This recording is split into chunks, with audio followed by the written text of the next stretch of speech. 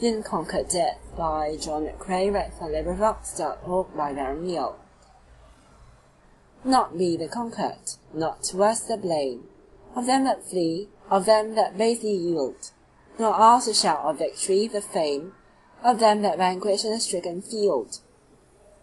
That day of battle in the dusty heat We lay and heard the bullets swish and sing Like scythes amid the o'erripened wheat, And me the harvest of their garnering. Some yielded; no, not we, not we, we swear By these our wounds. This trench upon the hill, Where all the shell strewn earth is seamed and bare, Was ours to keep; and lo, we have it still.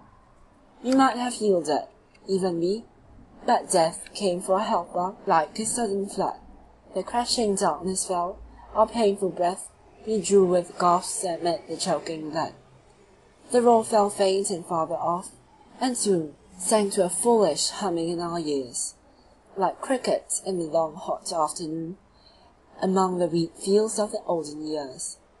Before our eyes a boundless wall of red Shot through by sudden streaks of jagged pain, Then a slow gathering darkness overhead, And rest came on us like a quiet rain.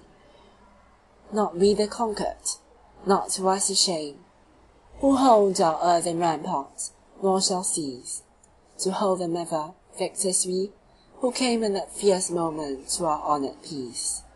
End of poem. This recording is in public domain.